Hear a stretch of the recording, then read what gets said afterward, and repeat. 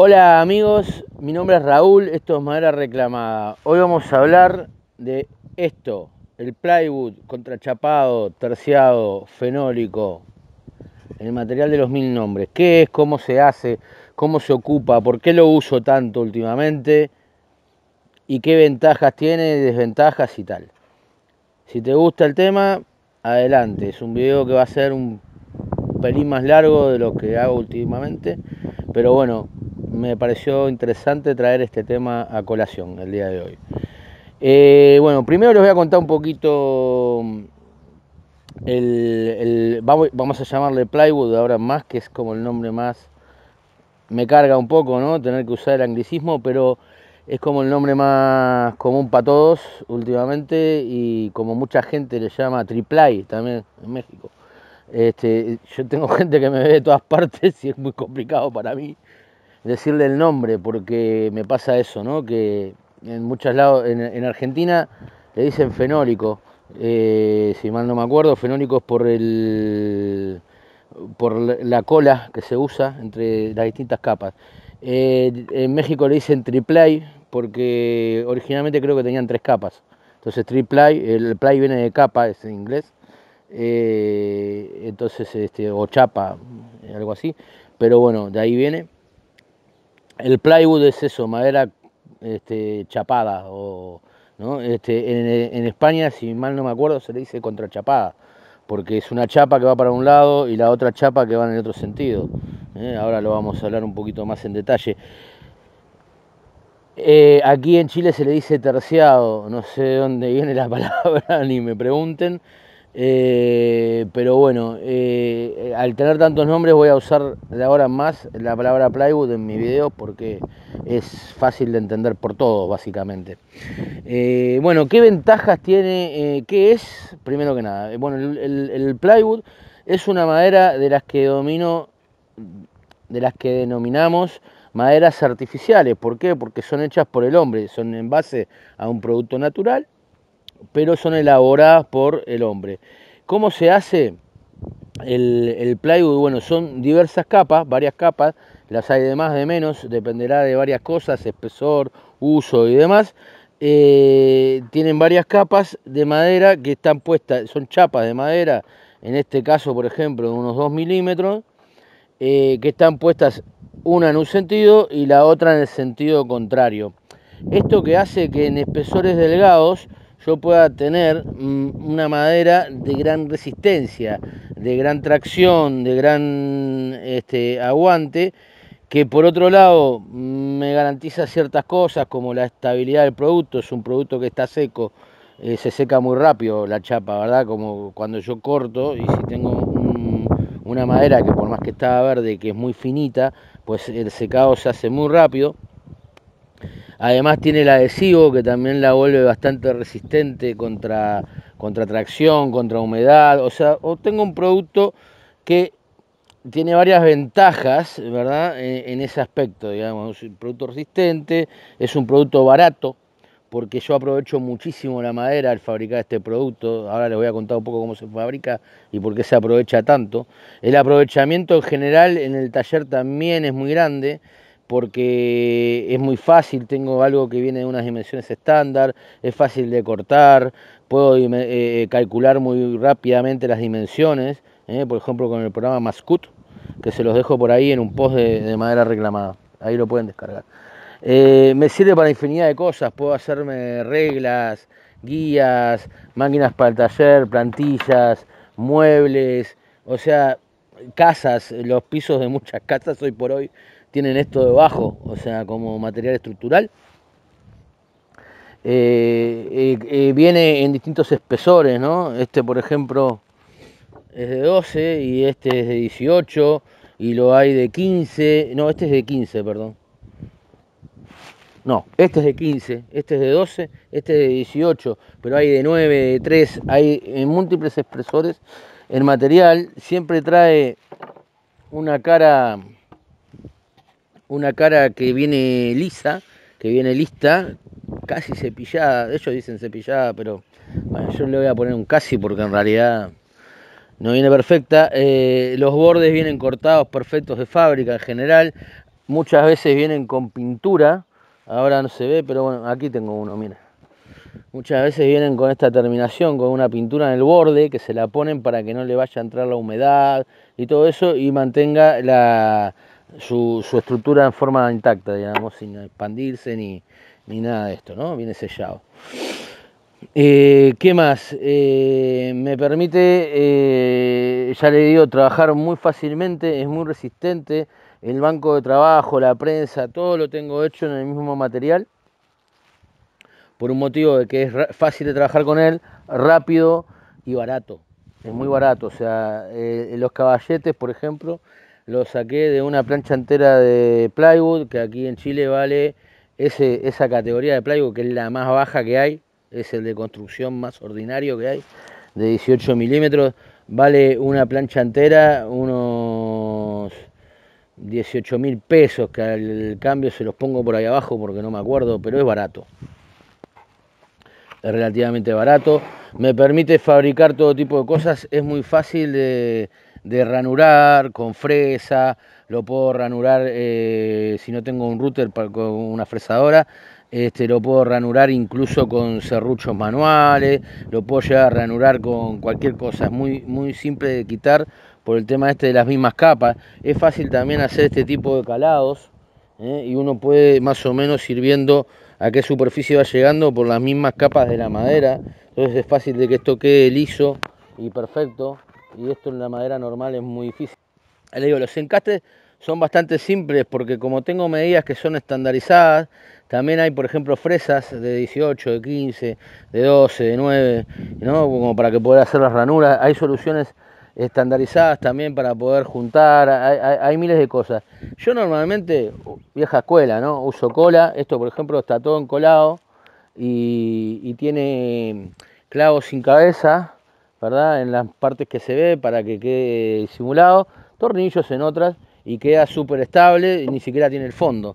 O sea, este, a mí me gusta mucho más este sistema, hay otra gente que usa sistemas de tornillo oculto, eh, se pueden usar distintas técnicas para, unir el, el, contrachapado.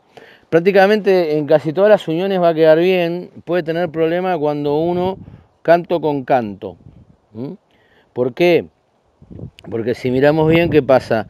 Estos cantos que son más blancos van a pegar bien, pero los otros cantos que son de testa, ¿verdad? Que están a contrabeta, digamos, este, van a tener dificultades. Esto se puede susanar bastante simplemente aplicando una buena generosa capa de cola y a veces y tratando de hacerle como fuerza para que entre en la fibra de la testa ¿eh? y pegue mejor o reforzando con algún método mecánico, bueno, eso ahí en otro video que voy a hablar de encolado lo vamos a ver más en detalle. Me ahorra muchísimo tiempo, para que está comenzando el plywood es ideal, te ahorra, no tenés que cepillar, no tenés que lijar tanto, lijas mucho menos. ¿Por qué? Porque ya tenés una cara que viene prácticamente terminada, que prácticamente lista. La otra cara normalmente viene rugosa, pero tampoco está tan mal con darle un poquito de lija ya estamos, si es que lo vamos a usar por las dos caras que se vean. Eh, el canto, bueno, puede obligar a, tapar el canto, depende de, lo que estemos haciendo, de la terminación que le queramos dar y de lo que nos gusta a cada uno. A mí particularmente suelo dejar el canto, me encanta, me parece hipnótico, me encanta verlas. Es más, cuanto más, de, de hecho en algún momento voy a hacer esto, ¿no? De, de juntar muchos cantos para hacer alguna cosa porque me gusta ver el canto. O sea, me, esto de las capas de, del, plywood me gusta mucho. es algo que me, que me, gusta. no sé si quedó claro, pero me gusta. Eh, ¿Qué ventajas ofrece? Bueno, para alguna cosa visualmente capaz que no es lo más atractivo del mundo. A veces, claro, un roble, un de esto, o podemos mezclar esto, por ejemplo, si a esto mismo yo le cortara unas láminas de roble para taparle los cantos, eh, una madera maciza, eh, pues quedaría bonito y el contraste entre el rojo y, la madera más clara, eh, si tengo una madera rojiza o, o, una madera más negra también y hacer el contraste. Luego igual esto yo lo puedo tener con caoba, con nogal, con lo que se me ocurra, puedo pintarlo También no, no es extremadamente difícil pintarlo, pero bueno, tiene sus bemoles, tampoco es extremadamente fácil, no todas las pinturas se agarran bien. Es, es un tema de, bueno, que lo tenemos que ir viendo bien con el lijado y tal. Eh, pinturas oleosas o eso a veces he tenido algún problema, también depende de la calidad de la pintura. Es barato. Porque se necesita mucha menos madera para producir una tabla de, de, plywood que para producir una tabla de madera maciza, digamos, eh, por decirlo de alguna forma. ¿Por qué? Porque el, plywood, bueno, les voy a dejar algunas imágenes eh, mientras hablo, pues básicamente se hace, es como que vamos girando un tronco contra una cuchilla que va sacando una lámina, ¿verdad? Y se saca de todo el tronco una lámina gigantes, grandes realmente, y luego con esas láminas, estirándolas y poniéndolas en un lado y en el otro y con el pegamento, es que se transforman en el, en el contrachapado, ¿vale? Hay otras maderas artificiales que a mí no me gustan para uso en carpintería, sí las uso en construcción, como puede ser el OSB, que se hace con chips, de este, fundamentalmente de pino, que van en distintos sentidos, y también con un pegamento, como el fenólico. Luego está también el MDF, que se hace con acerrín, esa es la que más aprovecha el recurso natural de la madera. también tienen ese sentido ecológico, ¿no? Son maderas que aprovechan mucho más el árbol en sí, entonces también está bueno usarlas en ese sentido de, ahorrar este un poco al medio ambiente el, tema del, recurso. El tal MDF que les decía se hace con acerrín, acerrín con un pegamento, y obtenemos una cosa muy densa que no es necesario cepillarla tampoco, ni es necesario casi lijarla, esa ya ni en los cantos tiene problema, y de hecho se puede pegar canto con canto, pero la desventaja es la terminación, ¿no? Si es MDF desnudo, ¿no? Porque ahora hay MDF que vienen con caras, este, ya sea como esto, con chapapino, eucalipto o lo que sea, y hay otros que vienen con melamínicos, con distintas terminaciones, hay con tipo nogal, haya, hay un montón de cosas que son los que se usan como para hacer estos armarios baratos, este, que se venden por ahí y tal. Yo no compro nada, siempre me hago todo. Esto lo estoy haciendo para mis hijos. Este, es un armario muy básico para, para que pongan juguetes, guardar cosas. Este, está tan levantado aquí abajo porque para poder recuperar la aspiradora de mi taller he comprado un robot de esos que van por la casa y entonces calculé el espacio para que el robot pueda entrar y salir. Es cuestión de que todo lo que tiren por ahí abajo de, de mugre lo pueda aspirar.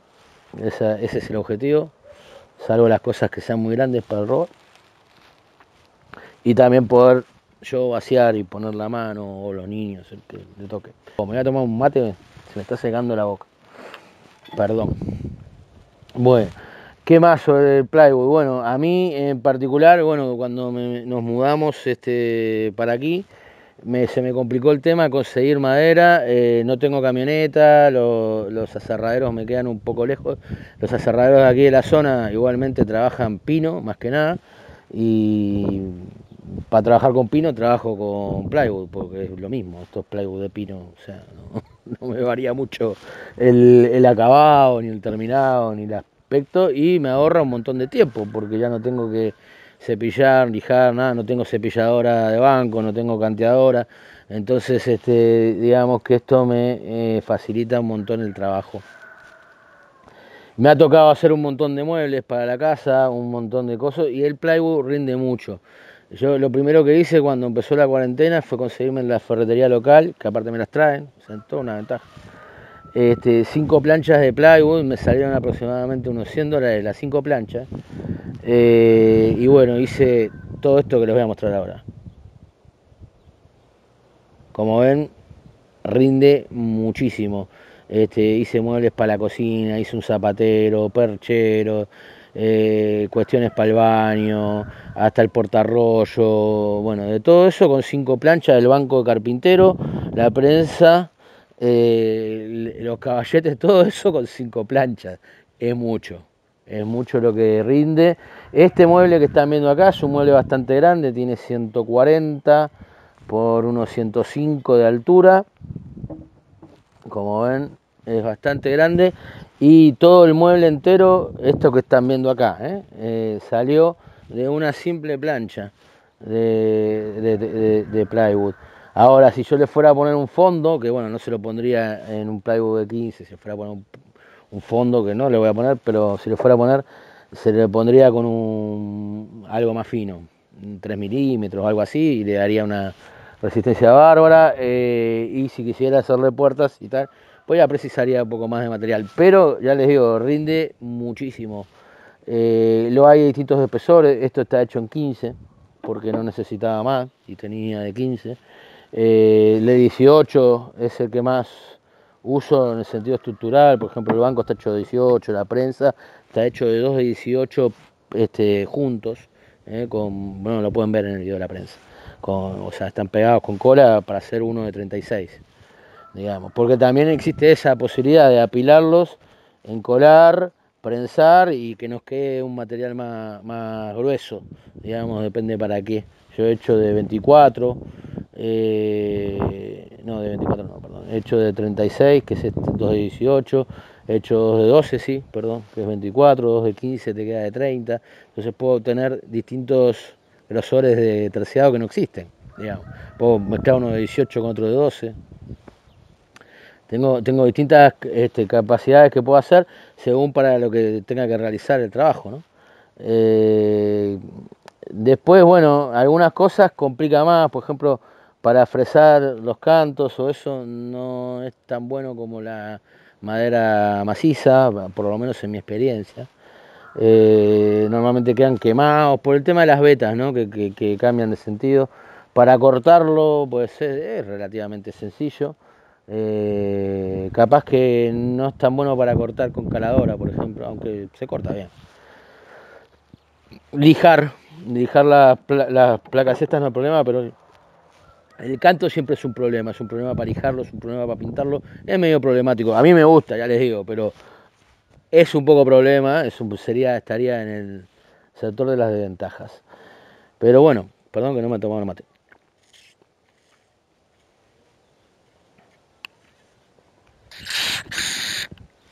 Ah, ya. Ahora sí puedo hablar mejor. Eh, eso sería un poco, ya les digo, este, me permite hacer muchas este, inventos, cuestiones, es bastante fácil de, de dibujar en la cabeza y luego en el cuaderno lo que uno quiere hacer. Bueno, eso es todo lo que quería enseñarles sobre el tema del plywood. Espero que les haya gustado el video. No se olviden de dejarme sus comentarios. Si les gustó, like. Si no, para abajo. Me da lo mismo. Compartirlo si tienen ganas. Y bueno, espero que les haya gustado. ¿sí? Que no se olviden de suscribirse, de poner la campanita, todas esas cosas. Mi nombre es Raúl, madera reclamada. Muchas gracias por los minutos prestados. Nos vemos en un próximo video.